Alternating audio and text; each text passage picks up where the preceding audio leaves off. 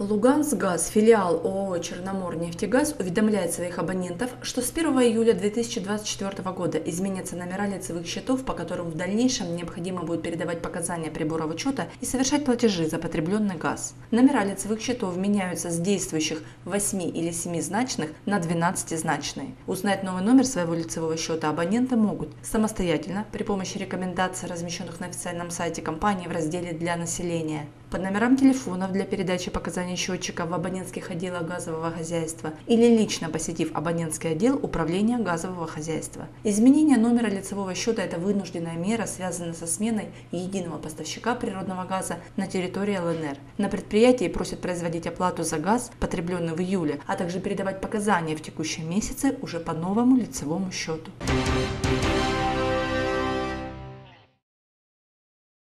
Краснолучском учебно-воспитательном комплексе номер 5 «Перспектива» имени героя СВО «Снитко» начались работы по замене окон. Выполняет их бригада строителей из Республики Башкортостан. В настоящее время специалисты приступили к демонтажу старых деревянных окон и установке новых оконных блоков. Об этом сообщили в Управлении образования по муниципальным образованиям городского округа города Краснолуч и Антрацитовского муниципального округа.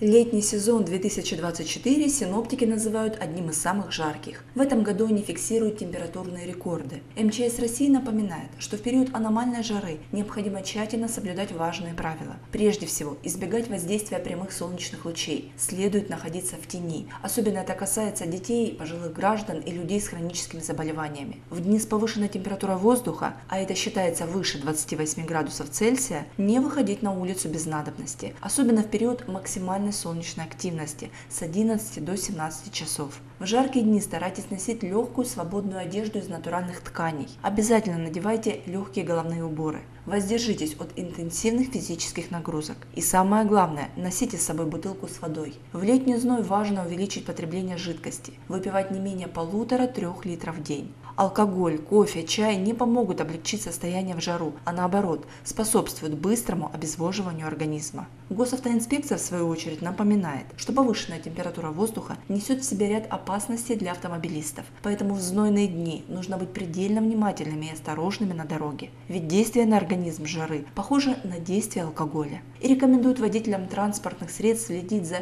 температурным режимом в салоне автомобиля, его техническим состоянием, контролировать свое самочувствие, тщательно продумывать поездки на дальние расстояния, а по возможности избегать их. Обязательно иметь при себе запас питьевой воды. Также автоинспекторы напоминают, что правилами запрещено оставлять детей до 7 лет в автомобиле без присмотра взрослых даже на непродолжительное время. Новости телеканала «Луч».